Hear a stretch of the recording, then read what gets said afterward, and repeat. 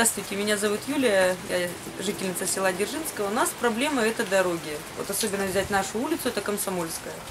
Хоть и сделано было, что дороги сделаны, ничего. Также и колодцы. Наши соседи обращались, писали в заявление сельсовет, если я не ошибаюсь, чтобы сделали хотя бы не внутри, а сверху. Опять сельсовета денег нет. Ну и также больницы. Больницы это очень большая тема, больная тема у нас ни специалистов, никого. Все через Канск. Хотя идет, вот я иду как мать-одиночка, не волнует никого, малоимущая, не малоимущая. Вызываешь скорую, нету анальгина. Даже чтобы у ребенка была температура 42, анальгина нету. Мне привозили с анальгин. Ну, до смешного. Когда как бы вот хоть что-то изменится в этом направлении.